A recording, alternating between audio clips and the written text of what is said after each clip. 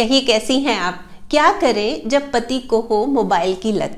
देखिए, वैसे तो आप सभी के कमेंट्स अलग अलग प्रॉब्लम्स को लेके आते ही रहते हैं, पर एक प्रॉब्लम ऐसी है जिसके बारे में मान के चलिए कि 80 परसेंट तक कमेंट्स आते हैं। आप सभी के मतलब इतनी कॉमन है वो प्रॉब्लम और वो प्रॉब्लम क्या है?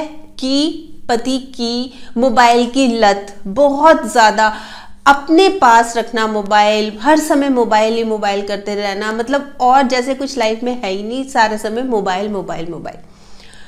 क्या करते हैं उसमें? या तो गेम्स खेलेंगे, या फिर मैसेजेस करेंगे, या चैटिंग करेंगे, या सोशल मीडिया पे रहेंगे, या लंबी लंबी बातें करेंगे। और इस आदत की वजह से क्या हो गया? अब क्या क्या होना शुरू हो गया कि सुबह उठते हैं ना जब, सबसे पहले तो मोबाइल चाहिए। बाथरूम में जा रहे हैं तो मोबाइल लेके जा रहे हैं, डाइनिंग टेबल पे बैठे हैं तो इवन ड्राइविंग करते वक्त भी। और जैसे बातें कर रहे हैं मतलब जैसे वाइफ का कहना है कि मैं बातें कर रही हूँ उनसे तो हाँ हूँ किए जा रहे हैं, ध्यान मोबाइल में है, इतना अजीब लगता है कि मैं किससे बात कर रही हूँ। या फिर जैसे बच्चों को ज़रूरत है और वो मोबाइल ले गए कुछ देर के लिए तो बहुत इम्पेशेंट हो जाते हैं। और इतना ही नहीं मोबाइल को साइलेंट पे रख दिया कि चलो हाँ इसे थोड़ी सी डिस्टेंस बना के रखेंगे, पर क्या होता है कि बार बार उसको भी चेक कर रहे हैं कि कोई मैसेज तो नहीं आया। मतलब साइलेंट पे रख दिया तो उसको थोड़ी देर के लिए दूर रख दो। पर फिर भी मतलब इतनी ज़्यादा उनको लत है एडिक्शन है कि फिर भी बार बार चेक किए जाएँगे। साइलेंट पे होते हुए भी।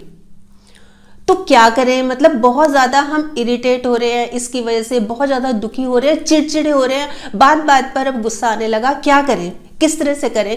तो यही मैं बताने आई हूँ आज की हम क्या करें। सबसे पहले तो देखिए, बिल्कुल क्लियर बात है कि इस बात को पर्सनली नहीं लेना। पर्सनली कैसे कि आम तौर पर लेडीज़ क्या सोचने लगती हैं कि जैसे जब हस्बैंड को इसकी आदत हो जाती है मोबाइल की, कि भाई मेरा ही कोई कसूर है। वाइफ का अपना ही कसूर है अभी मैं सुंदर नहीं रही, या मेरे में वो बात नहीं रही, या मैं बोरिंग हो गई, अपना फॉल्ट मानने लगती हैं। तो प्लीज़ इस चीज़ को तो सोचना बंद कर दीजिए। जैसे और लत नहीं होती, और आते नहीं होती, ये मोबाइल की भी वैसी है, ये उनको लगी हुई है, इसमें आपका फॉल्ट नहीं है, प्लीज़ खुद को ब्लेम देना बंद कीजिए, सबसे पहले तो ये। क्योंकि ब्लेम कर रही हैं, नेगेटिव हो रही हैं तो उससे क्या फ़ायदा होगा? आप अपनी सेहत क्यों ख़राब कर रही हैं? तो सबसे पहले तो इसको पर्सनली बिल्कुल नहीं लेना। अब हमने काम करना है कि हमने खुल के बात करनी है। देखिए, जब मैं खुल के बात करने की बात करती हूँ ना, उसका मतलब ये नहीं होता, खूब ऊँची ऊँची चिल्ला कर गुस्से में, और जो बॉडी लैंग्वेज है, वैसी करके दिखाना कि भाई बहुत इरिटेट हो रहे हैं, गुस्सा आ रहे हैं। नहीं। खुल के होता है कन्वर्सेशन और ऑनेस्ट कन्वर्सेशन अपने दिल की बात। हम जब बात कर रहे हैं कि खुल के बात करनी है, दिल से बात करनी है और दिल की बात करनी है, जैसे कि हस्बैंड को ये बोले कि भाई, क्या आपको वाकई में मोबाइल करना इतना पसंद है या कोई और बात तो नहीं? मतलब कोई ऐसी बात तो नहीं है कि जो आपको मेरी नहीं पसंद या बच्चों की नहीं पसंद। देखिए, खुल के बात करनी है उनसे कि क्या वाकई में आप इतना लाइक करते हैं मोबाइल को? कि इनकी वजह से आप हमें नेग्लेक्ट कर रहे हैं। मैं कितनी बार आपसे बात करती हूँ, आप मेरी तरफ़ बिना देखे हुआ कर देते हैं बस। बच्चे आपके पास कितनी बार मन से आते हैं, कितना कुछ बात करना चाहते हैं, कितना कुछ कहना चाहते हैं रिस्पॉन्स ही नहीं मिलता उनको।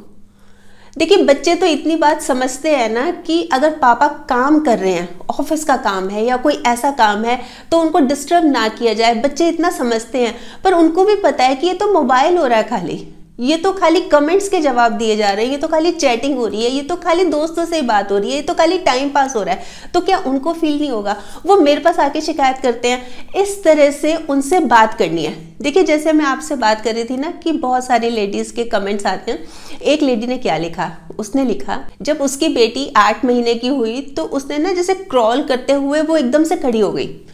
उस लेडी ने जो बताया क्रॉल करते हुए एकदम से खड़ी हो गई और उसने चार स्टेप्स लिए। जैसे ही वो खड़ी हुई तो उस लेडी ने अपने हस्बैंड को, जो कि वहीं बैठे हुए थे, जो कि मोबाइल कर रहे थे, उनको बोला कि जल्दी देखो बिटिया को, जल्दी देखो नीशू को, उसका नाम नीशू है, जल्दी देखो नीशू को।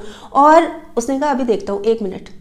मतलब एक मिनट में क्या देखते वो? उसने तो चार स्टेप्स लेने थे और वो गिर गई। जब तक हस्बैंड ने उसकी तरफ़ देखा, तब तक वो दोबारा बैठ के दोबारा क्रॉल करने लगी। तो उन्होंने इतना प्रेशियस मोमेंट मतलब पहली बार उनकी बिटिया चार कदम चली, कितना प्रेशियस मोमेंट होता है। किसी भी पेरेंट के लिए मतलब देखो मतलब हम आज भी याद करते हैं ना उन मोमेंट्स को, उन्होंने वो मिस कर दिया। तो इस तरह से कहें कि देखो टाइम का पता नहीं लगता बच्चे इतनी जल्दी बड़े हो जाते हैं, बाद में बच्चे अपने अपने सब सेट हो जाएँगे, चले जाएँगे, हम उनकी यादों में रह जाएँगे। तो क्यों नहीं आज में जिए? आज जो बच्चे मोमेंट्स कर रहे हैं, आज जो हम देख रहे हैं, उसको एंजॉय करें। हम क्यों मिस कर देते हैं? तो वो लेडी के मन में ना हमेशा एक बात रहती है। और हो सकता है उसके हस्बैंड के मन में भी हो कि हाँ मैंने ये चीज़ मिस कर दी। पर ये चीज़ हो गई ना, हमेशा के लिए हो गई कि जब बिटिया चार कदम चली थी हस्बैंड ने नहीं देखा। एक दूसरी लेडी ने भी अपना एक्सपीरियंस शेयर किया। उन्होंने ये बताया कि जैसे वो किसी पार्टी में जा रहे थे तो वो अपनी एक ड्रेस ले आई हस्बैंड के सामने कि ये पहन लूँ। उन्होंने देखा ही नहीं उसकी तरफ़। मतलब गर्दन उठा के नहीं देखा, ध्यान पूरा नीचे ही मोबाइल की तरफ़। हाँ हाँ ठीक है। तो वाइफ ने कहा, देख तो लो, उन्होंने कहा, मुझे पता है, बढ़िया है, ये पहन लो, अच्छी लगेगी। ठीक है, उसने पहन ली। वो तैयार हो गए, जब नीचे जाने लगे, गाड़ी में बैठने लगे तो हस्बैंड की नज़र अचानक उसकी ड्रेस पे गई वाइफ की ड्रेस पे। ये क्या पहन रखा है? तो उसने कहा, आपसे तो पूछा था। उसने कहा था, ये क्या मैंने कहा हाँ की होगी। मैंने नहीं की होगी हाँ। मतलब साफ़ साफ़ इनकार कर दिया। मैंने कहाँ देखा था? मुझसे कहाँ पूछा था? तो अब तो वो चले गए थे पार्टी में, पर वो इतनी ज़्यादा, उस लेडी ने बताया कि मैं बिल्कुल इन्जॉय नहीं कर पाई पार्टी को और इतना मूड खराब रहा कि इसकी वजह से आप कितना इग्नोर कर रहे हैं हमें। इतना दुख होता है, बहुत फील होता है। तो ये चीज़ें, जैसे मैं बोल रही हूँ ना कि खुल के बात करनी है। ये ऑनेस्ट कन्वर्सेशन होनी चाहिए, अपने दिल की बात उनके दिल तक पहुंचानी है कि आपको वाकई में अच्छा नहीं लगता, पर बहुत आराम से। फिर एक चीज़ और कि हम अपनी बात को, हम ये सोचें कि हम बोलेंगे और वो मान जाएँगे। ऐसा नहीं होता। हम अपनी बात इम्पोज नहीं करा सकते। हाँ हम उनसे आराम से बात करके उनको समझा ज़रूर सकते हैं। जैसे कि हम ये कहें कि नहीं, इस समय तो आपने मोबाइल नहीं करना तो ये पॉसिबल नहीं है है ना? ये तो आपने भी देखा होगा एक्सपीरियंस भी किया होगा कि ये पॉसिबल नहीं है। हम जितना कहेंगे ना, वो उतना ही ज़्यादा करते हैं फिर। तो उसका कोई फ़ायदा नहीं है। हाँ हम ये बोल सकते हैं कि भाई जिस समय मान लीजिए, जिस समय एक हस्बैंड ऑफ़िस से आते हैं और वाइफ को किचन में काम होता है या बच्चों को होमवर्क कराना है या और काम है, उसको पता है कि मेरे को आधे से एक घंटा अभी लगेगा, तब आप कर लीजिए मोबाइल तब कोई दिक्कत ही नहीं है। पर जिस समय मैं बैठी हूँ आपके पास या बच्चे बैठे हों आपके पास, तब आपने मोबाइल को एक तरफ़ रख देना है। जिस समय कोई नहीं है कमरे में, भी बच्चा अपना खेल रहे हैं, बच्चे अपने टीवी देख रहे हैं, कोई डिस्टर्बेंस नहीं है, आप आराम से कीजिए, आपको कोई नहीं कुछ कहेगा। देखिए, आप फिजिकली तो यहाँ पे प्रेजेंट है ही हैं। आपको मेंटली भी यहाँ पे प्रेजेंट होना है। मतलब आप फिजिकली हैं, दिमाग कहीं और जा रहा है, इधर ध्यान ही नहीं है, उससे क्या हो रहा है कि जो फैमिली लाइफ है ना, वो डिस्टर्ब हो रही है। ये जो आदत है ना, ये फैमिली लाइफ को स्पॉइल भी कर सकती है और उसको जोड़े भी रख सकती है। ये आपके ऊपर है कि आप क्या चाहते हैं। बहुत ज़्यादा खुल के अच्छे से उनसे बात करनी है और अपने दिल की बात शेयर करनी है कि बच्चे अलग डिस्टर्ब हो रहे हैं, मैं अलग डिस्टर्ब हो रही हूँ, मैं अलग स्ट्रेस में रह जा रही हूँ, बच्चे अलग से चिड़चिड़े हो रहे हैं, इस बात को खुल के करना। और एक चीज़ और भी ध्यान रखनी है कि जो उनकी हॉबीज़ हैं मतलब जो उनके प्लस पॉइंट हैं, उनको एनकरेज करना है और उसमें इन्वॉल्व होना है। कई बार क्या होता है कि जैसे मान लीजिए फॉर एग्जांपल हस्बैंड को क्रिकेट का शौक है। ठीक है, वो बैठे हुए हैं तो आप, ओहो क्रिकेट हो इतना बोर आपको सास बहू के सीरियल्स अच्छे लगते हैं तो आप उठ के वहाँ से चले गए कि मुझे शौक नहीं है, फालतू की चीज़ है, ये क्या है? तो उनके साथ बैठिए, उनके साथ इन्वॉल्व हुई क्योंकि तो आप तो उठ के चले गए, देखिए मैं क्यों कह रही हूँ, आप उठ के चले गए अब हस्बैंड बैठे हैं अकेले तो वो क्या करेंगे? हाथ में उनके मोबाइल होगा थोड़ी देर रुक रहे हैं मतलब किसी से बात करनी है, अपने फ्रेंड से डिस्कस करना है, या किसी को मोबाइल पे मैसेज करना है, या चलो सोशल मीडिया पे ही कोई स्टेटस अपडेट करना है तो फिर वो उसमें उनका ध्यान जाएगा। क्योंकि वो अकेले बैठे हैं ना। उनके पास कोई है ही नहीं, उनकी बात सुनने वाला नहीं है, इसलिए कह रही हूँ मैं।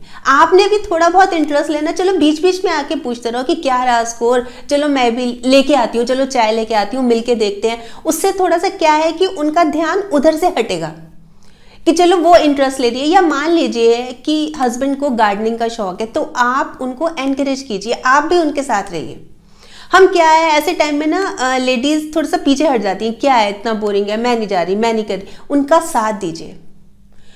हम जो है ना, कर सकते हैं। हम पता है क्या है, देखिए एक चीज़ मैं बताती हूँ आपको कि कई बार तो हम ही उनकी इस आदत में उनका साथ देते हैं। कैसे मैं बताती हूँ कि जैसे मान लीजिए हस्बैंड जो है गेम खेल रहे हैं, मान लीजिए, ठीक है? उनके किसी फ्रेंड का फ़ोन आ गया तो उन्होंने कहा हस्बैंड ने कि मैं नहीं बात कर रहा, अभी गेम बिल्कुल अच्छी उस पर चल रहा है, अभी नहीं मैं बात कर रहा, थोड़ी देर में करूँगा। तो हम क्या कहते हैं उनके फ्रेंड को कि, अभी तो ये सो रहे हैं। थोड़ी देर में बात कराती हूँ, अभी ये सो रहे हैं, वो तो गेम खेल रहे हैं। तो हम कहीं ना कहीं उनकी हेल्प कर रहे हैं ना अपने हस्बैंड की। या बॉस का फ़ोन आया है हस्बैंड का ध्यान ही नहीं है, वो लगे हुए हैं गेम खेलने में, या कुछ और मोबाइल में जुटे हुए हैं मतलब उनका ध्यान ही नहीं है। तो वो इशारा कर रहे हैं कि अभी करूँगा, दस मिनट में बोल दो बोल दो। तो फिर वो क्या बोल रही है कि अभी बाथरूम में मैं दस मिनट बाद बात कराती हूँ। तो कहीं ना कहीं कहीं ना कहीं हम हस्बैंड की हेल्प कर रहे हैं ना उस काम में, जो कि हमें भी पसंद नहीं है। तो इन चीज़ों पे ध्यान देना, आप उनको बोल दीजिए, नहीं नहीं, मैं नहीं बोल रही कुछ। क्लियर है कि मैं नहीं बोलूँगी। देखिए, हमें ना कुछ रूल्स बना लेने चाहिए कैसे कि, जैसे मान लीजिए खाना ही खा रहे हैं, खाते वक्त तो बिल्कुल कोई यूज़ नहीं करेगा, कोई मतलब कोई। ये नहीं है कि हस्बैंड के लिए मना है, बाकी बच्चे भी कर रहे हैं वाइफ का भी रखा हुआ है, वो भी खाना बनाते बनाते मैसेज देख रही है, नहीं, कोई नहीं करेगा। दूर रखेंगे इसको खाना खाते वक्त, और जब बातें कर रहे हैं तो उसको साइलेंट मोड पे रख दिया। कि बिल्कुल कोई ध्यान नहीं जाएगा। जब बातें कर रहे हैं तो हमसे बातें कर रहे हैं। इधर उधर कोई ज़रूरत नहीं है ध्यान देने की। जब ड्राइविंग कर रहे हैं तो तो मतलब ही नहीं। और कई बार क्या होता है कि जैसे ना तकिए के नीचे भी रख के सोते हैं रात को मोबाइल। तो किस लिए रख के सो रहे हैं? जैसे पूछे तो बोलते हैं कि टाइम देखना होता है अभी। टाइम देखना है तो इसको रखने की क्या ज़रूरत है? इसकी तो रेडिएशंस भी तो कितनी हार्मफुल होती हैं। तो क्यों ना अलार्म रख?